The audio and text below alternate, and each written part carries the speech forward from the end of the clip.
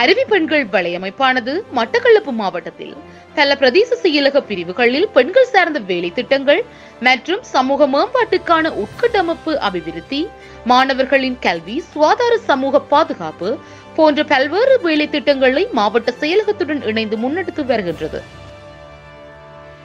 அந்த வகையில் மட்டக்களப்பு கோரளைப்பற்று தெற்கு கிரான் பிரதேச செயலக பிரிவில் உள்ள குடும்பிமலை கிராமத்தில் உள்ள குமரன் வித்தியாலயத்தில் சிரமதான பணிகளை மேற்கொண்டதோடு அப்பாடசாலையில் கல்வி பயிலும் மாணவர்களுக்கான சுகாதார பொதிகள் வழங்கி வைத்தனர். அத்தோடு குடும்பிமலை கிராமத்தில் இருந்து வெளிக்கிராமங்களில் தங்கி கல்வி கற்கும் முப்பத்தி ரெண்டு மாணவர்களுக்கும் சுகாதார பொதி வழங்கப்பட்டதோடு அக்கிராமத்தில் வாழ்கின்ற அறுபத்தாறு குடும்பங்களுக்கான உலருணர்வு பொதிகள் மற்றும் சுகாதார பொருட்களும் வழங்கி வைக்கப்பட்டது.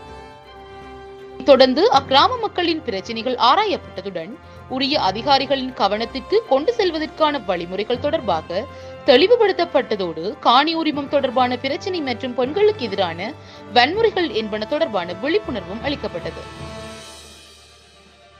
சட்டத்தரணியும் அறிவிப்பெண்கள் வலையமைப்பின் பணிப்பாளருமாகிய மயூரி ஜெனன் தலைமையில் நடைபெற்ற இந்நிகழ்வில் மட்டக்களப்பு மாவட்ட அறிவிப்பெண்கள் வலையமைப்பின் ஊழியர்கள் மாணவர்கள் மற்றும் பொதுமக்கள் என பலரும் கலந்து கொண்டனர்.